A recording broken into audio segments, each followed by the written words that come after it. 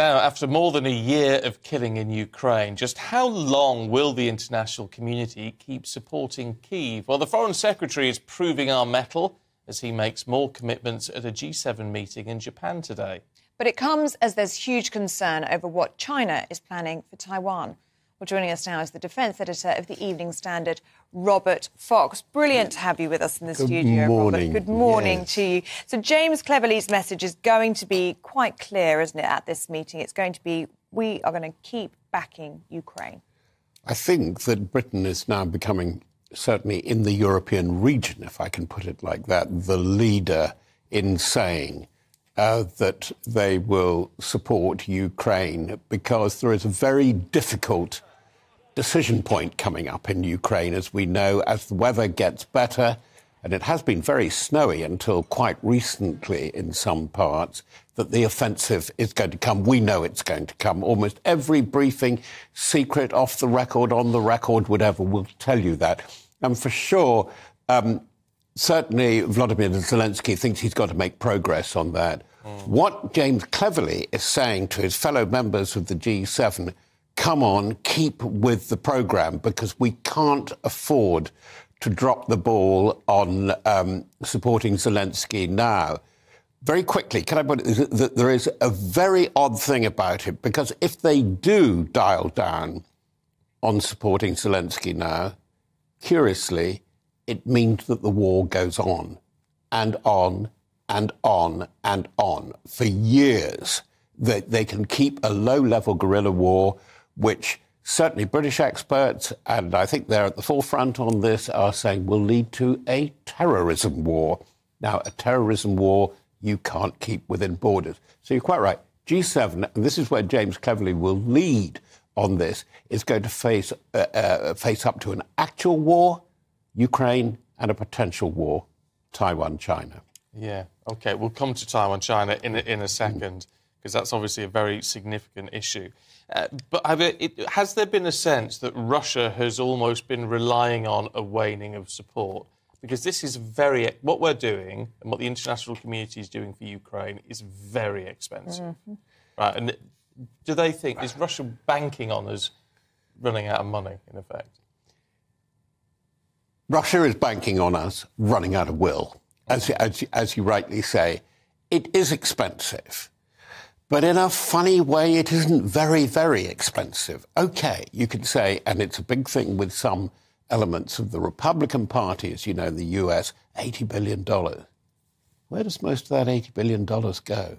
An mm. awful lot of it goes back into American arms and defense industries to renew necessary parts of the defense apparatus of the US. It was something that was that, that was that was going to happen.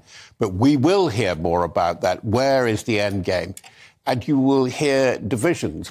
By the way, on the two, uh, Mr. Macron hasn't been helping things very much, has he? No, no, that's a fair point. There has been a shift in tone, hasn't there, from from the G7 in terms of their approach to Ukraine. Last year there was pressure really for Ukraine to agree to end the war and a focus on peace, and now it's a focus on support for as long as they need. What do you think that shift is about? China. It's quite clear that they had hope, and it, this is where I don't think Macron, forgive me, GB News, I don't think he was necessarily being malicious, but what is absolutely clear, he was incompetent. But what he was doing with China is that all roads to Putin, think Putin, lead through China to get him to talk. And at the moment, he's in a no, no, no, not listening mode, and it's really down to China. China is so preoccupied with other things that it is not prepared to move on Ukraine. But curiously, I would say China knows that it's got to move on Ukraine because it's so committed to trade not only to the US but to Europe. If you really start putting yourself in a bad place, which they could over Taiwan, and massive sanctions, and they are possible, that is so damaging to China at the moment. It is still very, very dependent on US and European trade. Okay, well, if that's the case, then why have why has there been all this fuss over Taiwan of late? I mean, the US has sort of mobilised some of the stuff around Taiwan, haven't they? Some of their their their ships and what have you. There's been these fly pasts and everything that, that China, the China Air Force has, has been doing. I mean, they've been upping the ante. Well, the one relates to the other. Ab- absolutely right. Why has China been getting so antsy about it, as you say, flying over, sailing round, saying we can cut off Taiwan? I would say I, I know no more possibly than, than, than anything anybody can read uh, from open source in intelligence. I think it's because it's a diversion. I think China is so preoccupied with other things, things really not going right in the economy, things not really fully recovering in the way that they would expect from COVID.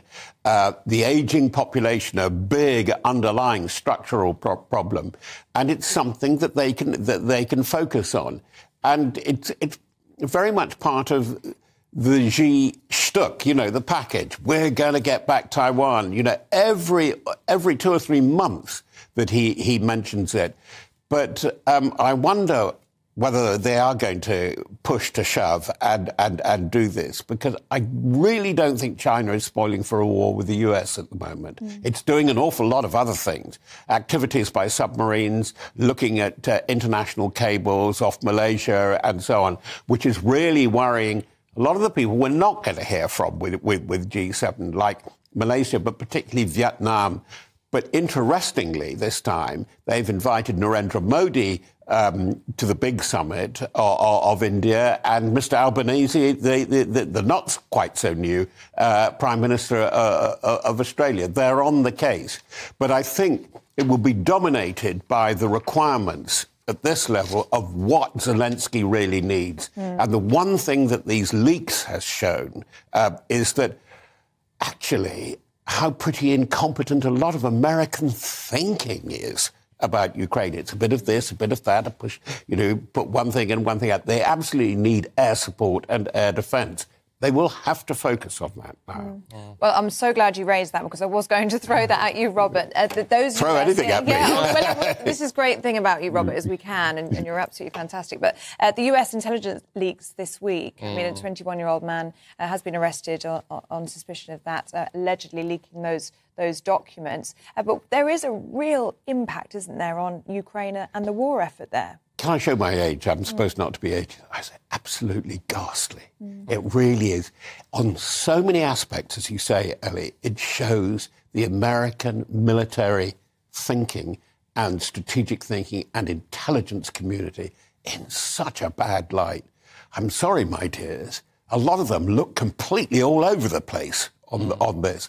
And when you hear the Brits, resource starved in a way, but you hear Rishi Sunak saying, this is what we're going to up the defence budget for. We have priority because we're now, again, renewed a major player in nuclear.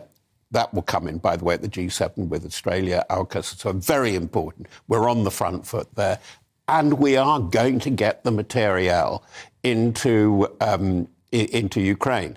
But for the Brits, I would say that they think it's embarrassing that they've revealed that there are 50 special forces. I should think, whatever enough special forces, probably that is a very serious underestimate really? of, of, of, not of people being in there, but people contributing in and around mm. Ukraine. Actually, it's shown the Brits rather in, in rather a good light. I think that, that, we're up for it. We're really thinking our way through. And that's why Britain will go in a peculiar way as a very important uh, representative of NATO in the G7, because the UK, with Ben Wallace as well as James Cleverly, leads a thing called the Joint Expeditionary Force. Ten members. They're people on the front line now, the new member of NATO like Finland and the, and the Baltic countries, and they rather like the Brits doing that at the, uh, uh, at the moment. I think there might be some very hard words, words, some very serious talking being done in, in Japan through this rolling thing, because Japan is in the chair for G7 uh, uh, this year. It is reality check time. Mm.